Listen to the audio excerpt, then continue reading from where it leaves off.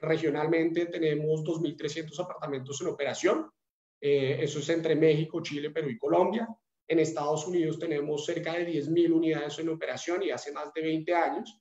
Eh, y básicamente la pérdida de cartera que tenemos dentro de ese portafolio está por debajo del 0.3%. Esto tiene varias razones importantes de ser, digamos, ya lo hemos hablado, la vivienda es un bien de necesidad básica, eso no se puede eh, olvidar, y cuando estamos tratando con personas, pues hay problemas reales que se tienen que solucionar.